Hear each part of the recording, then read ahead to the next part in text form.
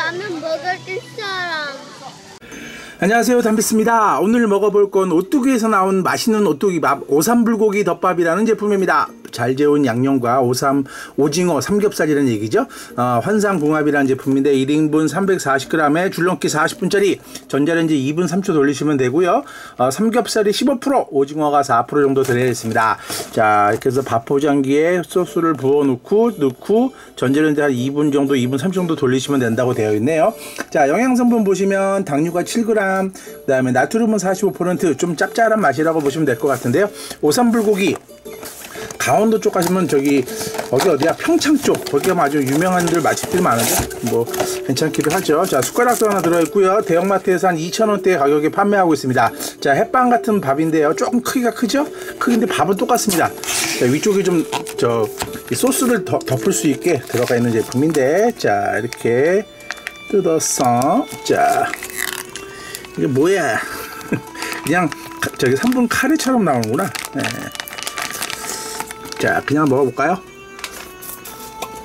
뭐 그냥 짭짤한 그런 느낌인데요 자 전자레인지에 한번 데워 갖고 와서 먹어보도록 할 텐데 요대로 넣는 게 아니고 아까 보신 것처럼 이게 튈 수 있으니까 요거 이렇게 덮어서 요 안에 넣으신 다음에 자 돌려서 먹어보도록 하겠습니다 자, 다 되어 갖고 왔는데요. 자, 이런 식으로 뭐, 자, 자, 자, 자, 자, 자, 밥 떨어져라.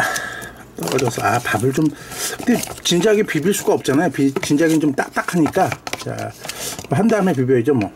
자, 이렇게 해서 비벼서 먹어봅시다. 물론 이제 여기는 지금 거의 뭐 저기 3분 카레 3분 뭐 그런 식으로 돼 있지만 그 평창 쪽 그쪽 가서 드시면 뭐 그냥 꽤 푸짐한 느낌이 듭니다. 거기다 저기 스키 타고 아니면 뭐 등산하고 술 한잔 하시는 분들도 많고 그 다음에 황태해장국도 유명하고요 근데 뭐 개인적으로 뭐 거기서 먹는다고 크게 뭐 다르다까지는 모르겠고요. 그냥 거기가 유명하다니까. 자 먹어보시면 되겠습니다. 자 이렇게 해서 드셨는데요. 뭐 삼겹살 같은 경우 좀 보이기도 하죠. 향 같은 경우는 좀 약간 좀 카레 향이 살짝 나기도 하고요. 자 먹어봅시다. 한 끼로 딱 좋네요.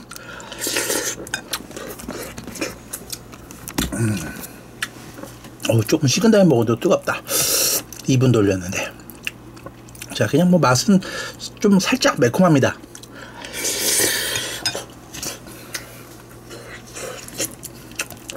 매콤하고요. 씹히는 맛은 요거 삼겹살 들어있는 부분, 요 부분만 좀 살짝 씹히는 맛은 나고요. 나머지는 그냥 뭐 후루루 마시는 느낌? 그런 느낌이네요.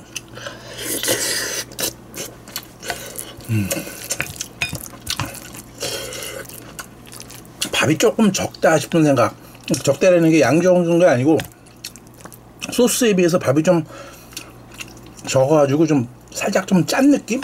매, 매우면서 살짝 짠 느낌도 들고요. 집에 있는 밥공, 밥공, 반 공기 좀 많을 것 같고 한 3분의 1 공기 정도 딱 드시면 더 넣으셔서 드시는 것도 좋을 것 같네요.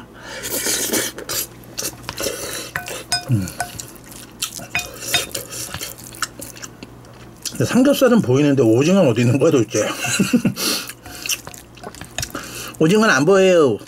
오징어는 안 보이고요. 그냥 뭐 삼겹살만 좀 들어있는 것 같고. 어디 뭐 들어있겠죠? 작은 건 없나? 음. 하여튼 뭐 맛으로 따진다면 좀 삼분 카레 매운맛? 그 살짝 그 카레 향 나가지고요. 그냥 편하게 드실 수 있는데 좀 매콤하다는 그, 그 정도 정도로 그냥 삼겹살 씹히는 맛이 있고 그런 맛이니까. 집에서 한번 별미로 드시고 싶으신 분들 편의점에서도 판매하는데 편의점에서 비싸게 좀 받더라고요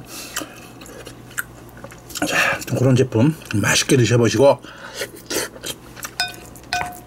나중에 한번 여기 평창 쪽 강원도 쪽으로 가시게 되면 거기 뭐저 맛집 검색하시면 몇 군데 나옵니다. 유명한 집들 사람 줄 서서 먹는 집 그런 데서 먹으면 괜찮은 편이더라고요.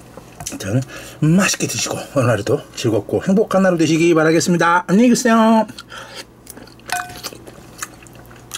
안녕하십니까.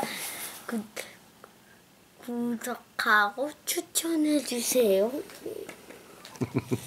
여기까지.